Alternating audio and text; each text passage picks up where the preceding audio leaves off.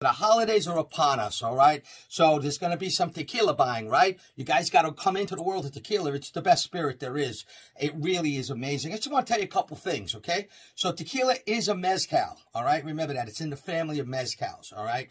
It's uh, not cooked in the earthen pit, though, like a mezcal. It's cooked above ground. It's steamed, all right? That's how it's actually cooked, all right? There's two regions. There's the valley, which people call the lowlands. There's the Los Altos area, where people call the highlands, a few hours away from each other, all right? The soils are different in the lowlands.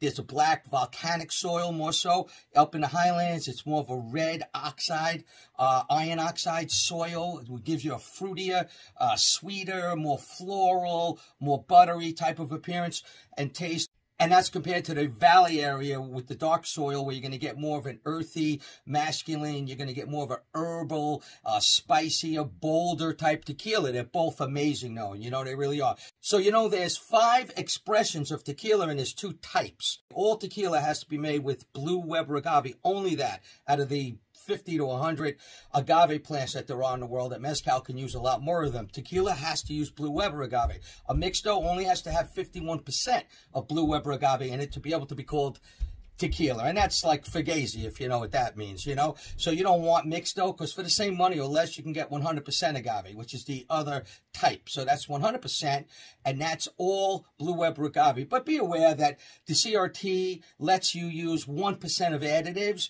So the brands that are crappy brands, usually in those pretty bottles, which you don't want to buy a tequila from a pretty bottle, you don't want to buy those type of products because they use the 1% additives and they alter it. They change the taste. It's phony. It's fake as far as I'm concerned. It's not what tequila is supposed to taste like. You know, the five expressions now are Blanco, Reposado, Añejo, and Extra Añejo, okay? So it all depends on how long it's aged in oak barrels, all right? So the Blanco's not aged. It can be rested for up to two months or less in oak.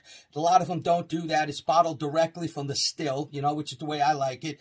Reposado is two months to one year rested. Añejo, one year to three years aged in oak and, and extra añejo is three years or more. Then there's the Joven category, which is basically a Blanco that is blended with some aged expression, okay? So that's what a Joven is, and basically you want to buy additive-free tequila for so many reasons. You know, you know, I know we all eat additives in our food, but when you're going to spend this kind of money, $60, $100 or more on, on, a good tequila, why have it taste fake and phony and be uh, adulterated, you know, with uh, flavors that they think you're going to like? Drink the real stuff, and it's usually less money, too, you know? And again, the ones in the fancy bottles are almost always adulterated, all right? So drink what you like, but know what you're drinking, all right? So this is Lou Agave, Long Island Lou Tequila. Check out my social media, and happy holidays.